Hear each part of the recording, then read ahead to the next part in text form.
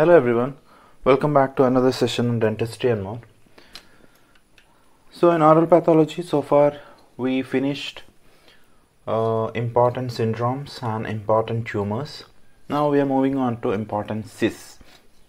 So uh, we have uh, radicular cyst, uh, odontogenic keratocyst and uh, dentigerous cyst. These three are the most important uh, ones uh, for university exam. So let's uh, get into the details of radicular cyst.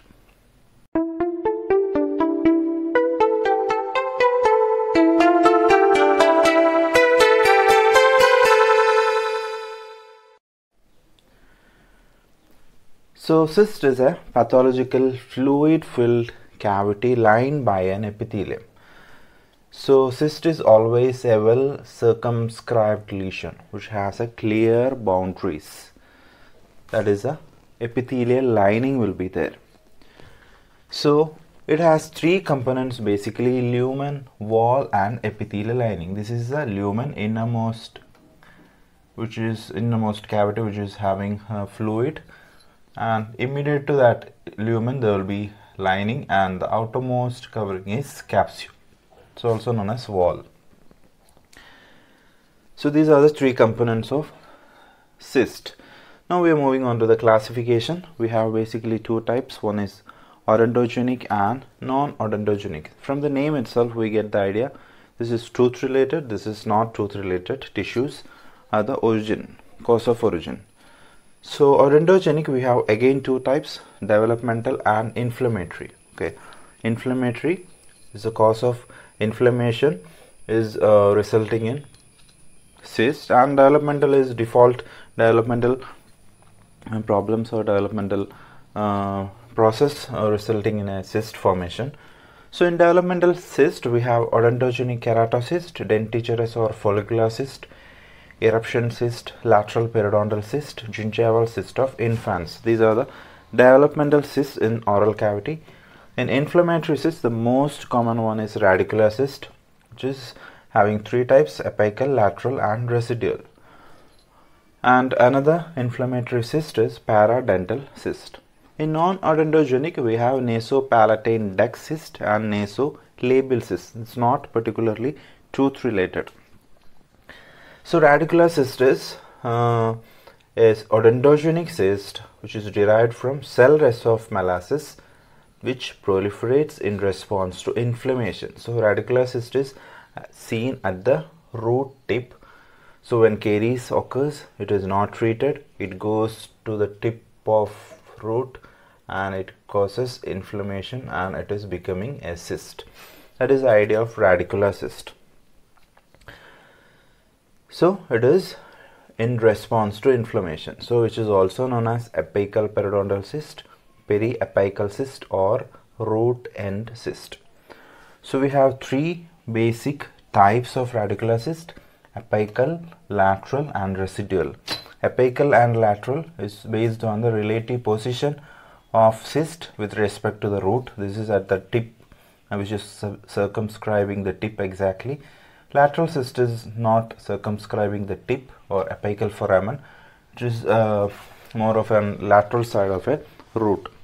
Residual cyst actually there is no tooth which is uh, originating from a residues of uh, remnants of a tooth. And the most common location of radicular cyst is maxillary anterior region, then maxillary posterior, then mandibular posterior and mandibular anteriors. Most common is maxillary anterior and least common is mandibular anteriors. So that is uh, radicular cyst, basic uh, cyst classification and uh, location about uh, radicular cyst. So moving on to the epidemiology of radicular cyst. It is uh, one of the most common cyst of jaw that is 60 to 70 percentage of cysts are radicular or periapical cyst and it is most commonly seen between 20 to 60 years and it's very rare less than 10 years maxilla is more affected uh, because uh, porosity of maxillary bone is more favorable for cystic formation compared to the mandibular one. 3 is to 1 ratio that is 3 times more lesions are found in maxilla. And it is a male predilection cyst with 3 is to 2 ratio compared to the females. In clinical features it is asymptomatic and slowly progressive. But if infection enters the swelling becomes painful and rapidly expanding. Otherwise, it is asymptomatic and a slowly progressive one. The initial swelling is round and hard, but later what happens is the part of wall is resorbed, leaving a soft, fluctuant swelling and bluish in color. So, initial it is very round and a hard structure, but as a lesion expands, the part of wall is resorbed, leaving a soft fluctuant swelling. So when bone has been reduced to eggshell cracking, a, a crackling sensation may be felt on pressure. So it will be reduced to eggshell cracking, there will be a crackling sensation when applying pressure. So this is uh, important uh, sequence of events how the radicular or periapical cyst is formed. So it starts with the cause that is either caries, trauma, pulpal necrosis or periodontal disease and it leads to periapical inflammation. So once the inflammation starts it slowly develops and becoming periapical granuloma that is granulation tissue scar or inflammatory cells will be there which provide rich vascular area to rest of Malassez and rest of Malassez proliferate which is forming a large mass of cell. Then what happens? Then the inner cells of this mass deprived of nourishment so the inner cell will be deprived of nourishment which undergo liquefaction necrosis, formation of a cavity in the center of granuloma and ultimately a result with a proper epithelial lined cavity which is radicular or periapical cyst. Cyst wall separates from bone due to the pulpal irritation. So how it starts? It starts with caries, trauma, necrosis or periodontal disease that is a cause, inflammation, periapical granuloma, then cell rest of Malassez, it proliferates, it becoming a large mass, then inner mass deprived of nourishment, it undergo liquefaction necrosis and formation of a cavity. So that is the pathogenesis of radicular cyst. So how do we diagnose radicular cyst? We can use a combination of radiographs and vitality test. We can do a vitality test mostly it will be a non-vital tooth and radiographic appearance is a most conclusive evidence. We will easily understand uh, a periapical cyst from a radiograph. So in clinical findings, the signs and symptoms, the smaller cysts uh, do not usually become acutely infected but the larger cyst there will be expansion of bone, displacement of uh, tooth root and crepitus on palpation of alveolar bone and negative responses will be there on pulp testing and the regional lymph nodes will be affected. Moving on to the radiographic features, it is uh, most commonly identical to periapical granuloma. There will be a radio opaque line around the periphery of radiolucent area. So this cyst will be a radiolucent uh, area but that will be uh, covered or surrounded by a radio opaque line. So mostly it will be a ovoid or round radiolucency with a radio opaque line at the borders. Mostly it will be less than 1.5 centimeter diameter and it will be a well circumscribed lesion. So the differential diagnosis can be periapical granuloma or odontogenic tumors and giant cell lesions. So treatment options are most commonly we should do root canal filling. Then extraction is also uh, needed in few cases. Extraction of uh, non-vital tooth and curettage of the apical zone if it is very much infected.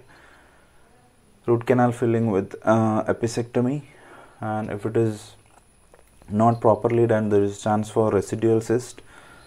So uh, severe condition we need to go for enucleation or marsupialization. So that's all about radicular cyst. It is the most uh, common cyst one of the common cyst uh, and cyst and tumors are different. So this is the first cyst in our uh, segment. The next one is dentigerous cyst and uh, odontogenic uh, keratocyst also coming up so i'll come up with uh, dentigerous cyst in my next session thank you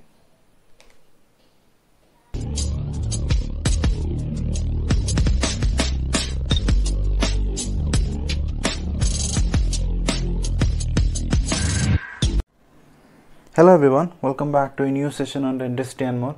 Today's topic is dentigerous cyst. So last class we had seen radicular cyst or periapical cyst.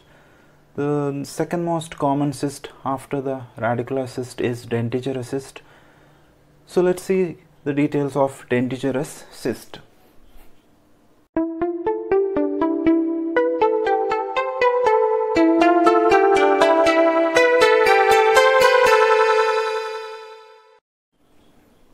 Dentigerous cyst, the name itself gives an idea about uh, its origin.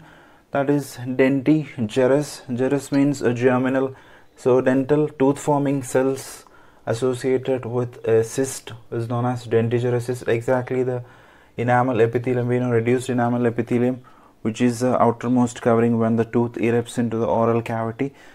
So some malformation or some uh, improper reaction happening with the reduced enamel epithelium creating a cyst which is known as dentigerous cyst which is the second most common cyst after radicular or periapical cyst that is the odontogenic cyst.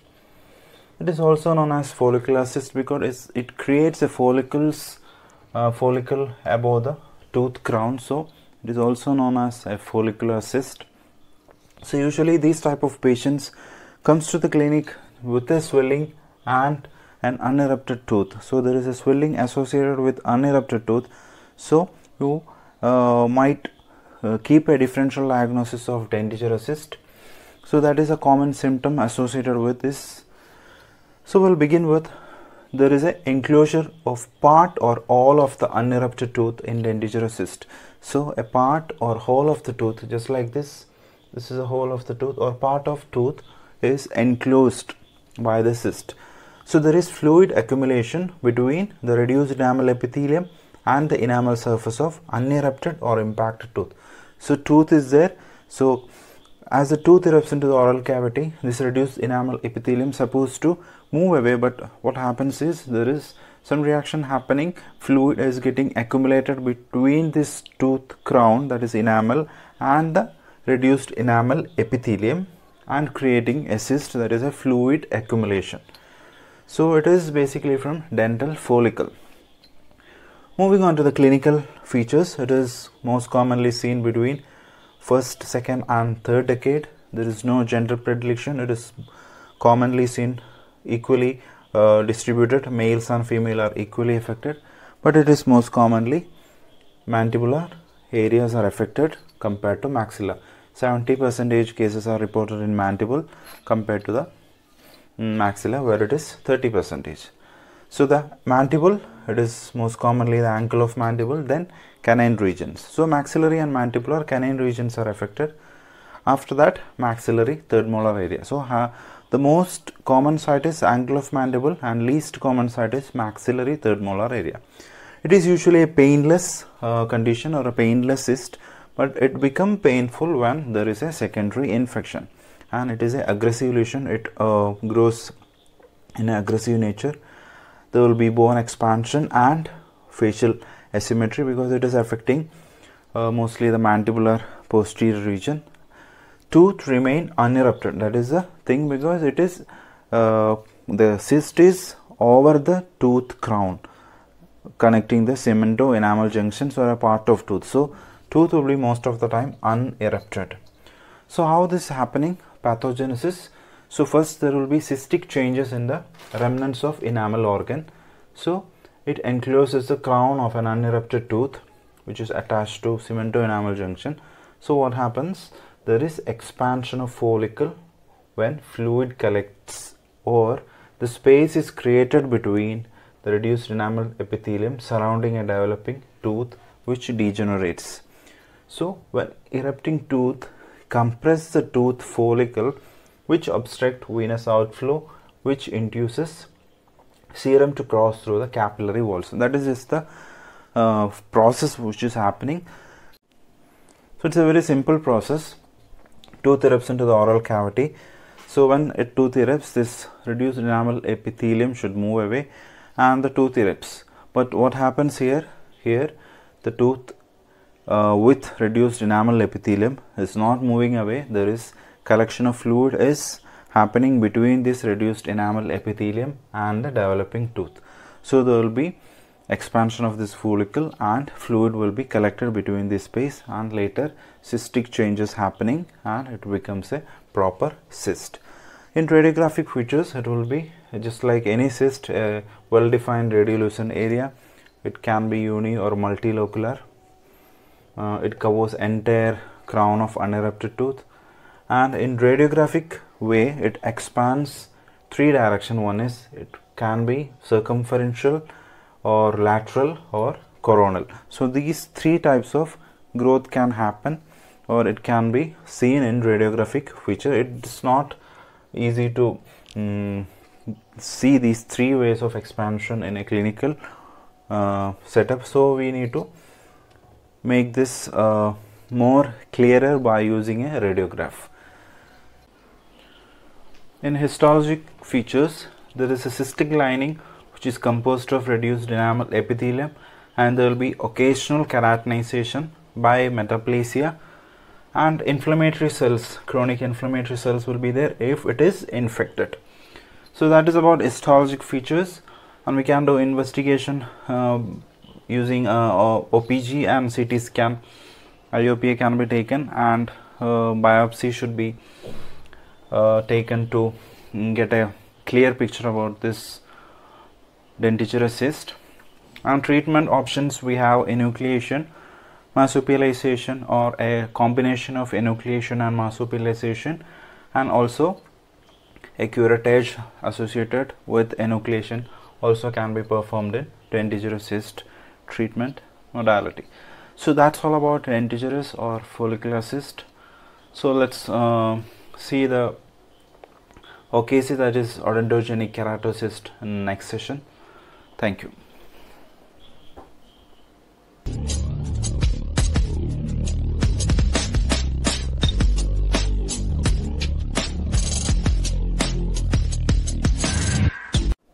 Hello everyone, welcome back to a new session on dentistry and more. Today we have odontogenic keratocyst or OKC to learn. So we covered uh, radicular cyst and dentigerous cyst in our last sessions. So the third one is odontogenic keratocyst. It is a benign, uh, which is not very uh, common one, and which is a locally aggressive type of cyst. Now let's get into the details of OKC.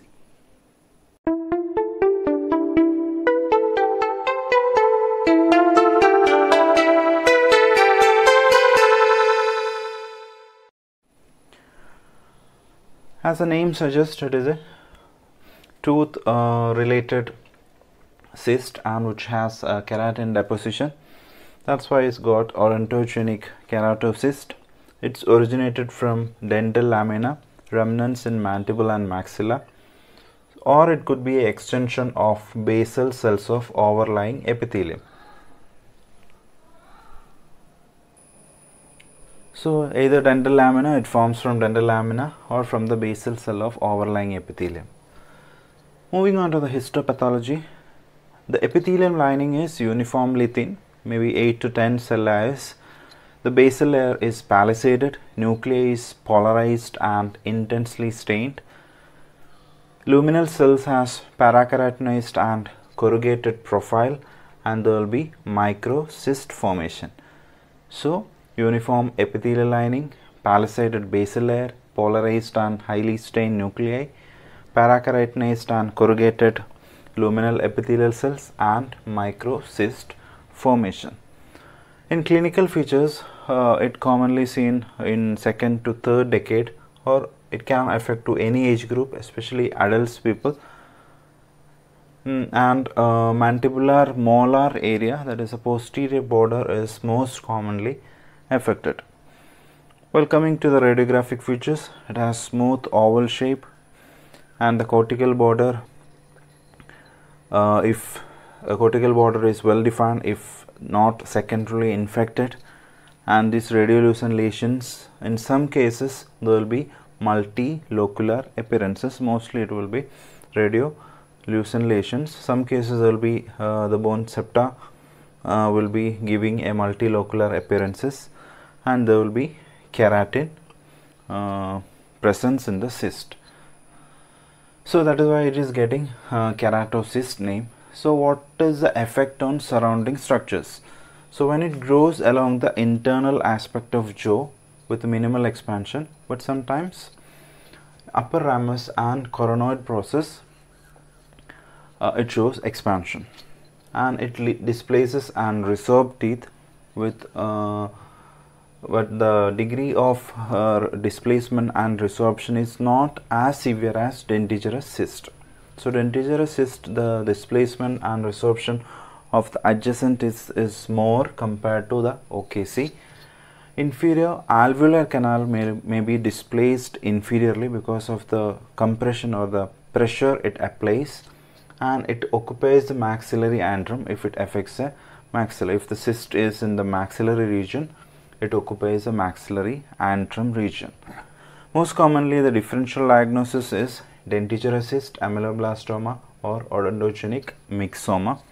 Treatment can be uh, done using wide surgical excision to avoid recurrence or marsupialization also can be applied. So odontogenic keratocyst is uh, not very detailed uh, one. It is a uh, uh benign, uh, a rare cyst which is uh, locally aggressive seen in the posterior mandibular area most commonly and which has keratin deposits in the cyst.